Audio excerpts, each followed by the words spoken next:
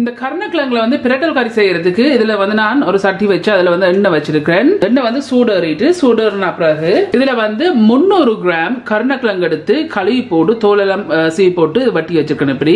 உப்பு ஒன்றும் போட்டு நான் இதை மிக்ஸ் பண்ணல இப்போ நாங்க பொறிச்செடுப்போம்.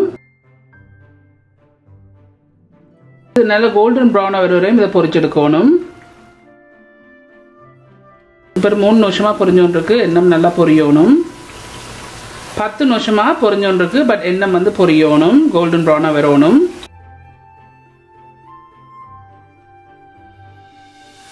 இப்போ நான் சரியாக வந்து பதினஞ்சு நிமிஷம் நான் இதில் மீடியம் ஹீட்டில் வச்சு பொறிச்சிருக்கிறேன்.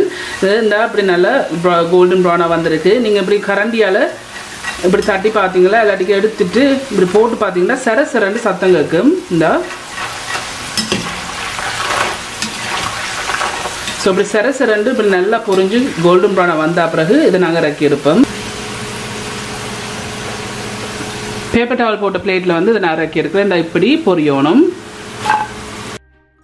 சுந்தாருக்கு இதை நான் இப்படி பொரிச்சிருக்கிறேன் இதை வந்து பரப்பி விடுங்க பேப்பர் டவலில் இந்த எண்ணெயை வந்து இழுத்துருக்கிறதுக்கு ஸோ அந்த கருணக்கிழங்கு கறியை வந்து நான் செய்யறதுக்கு இதில் வந்து மண் சட்டி எடுத்து வச்சு ஹீட்டை வந்து மீடியம் ஹீட்டில் வச்சுருக்கேன் மீடியம் ஹீட்டில் வச்சுக்கொண்டு இதில் வந்து ஒன்றரை டேபிள் ஸ்பூன் எண்ணெய் இருக்குது இந்த எண்ணெய் இதில் விடுங்கோ.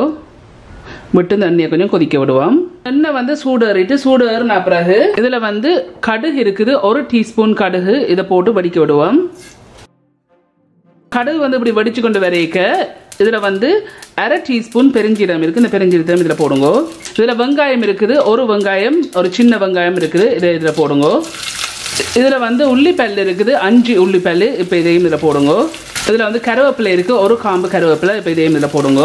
இப்போ போட்டு இதை மிக்ஸ் பண்ணி போட்டு ஒரு மூன்று நிமிஷம் வதங்க விடுவோம்.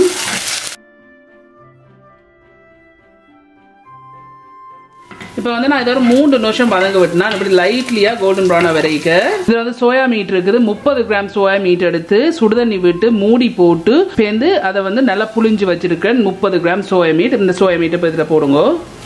இதில் வந்து உப்பு இருக்குது. உங்களோட தே உங்களோட டேஸ்ட்டுக்கு ஏற்ற மாதிரி உப்பு போடுங்க. பட் நான் ஒரு டீஸ்பூன் உப்பு போடுறேன். போட்டுட்டு இதை மிக்ஸ் பண்ணி போட்டு ஒரு ரெண்டு நிமிஷம் வதங்க விடுவோம்.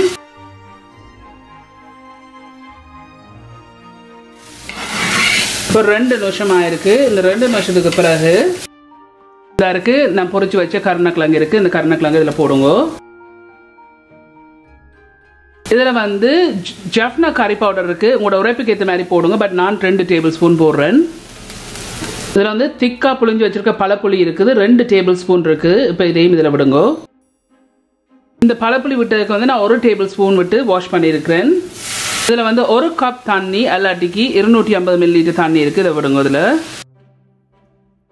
இதில் வந்து தேங்காய் பால் இருக்குது முதலாம் பாலும் ரெண்டாம் பாலும் இருக்குது. ஒன் ஃபோர்த் கப் அல்லாட்டிக்கு அறுபது மில்லி லிட்டர் இருக்குது இப்போ இதையும் இதில் விடுங்கோ. விட்டு இதை மிக்ஸ் பண்ணி விடுங்கோ சொன்ன பிறகு இதை மூடி போட்டு மீடியம் ஹீட்லேயே ஒரு பத்துலேருந்து பதினஞ்சு நிமிஷம் இதை கொதிக்க விடுவோம். இடக்கடை மிக்ஸ் பண்ணி விடுங்க. இப்போ ஒரு ஒன்பது நிமிஷமா இதுலேருந்து கொதிச்சோன்னு இருக்குது இந்த ஒன்பது நிமிஷத்துக்கு பிறகு எனக்கு திறந்து விடுங்க மூட தேவையில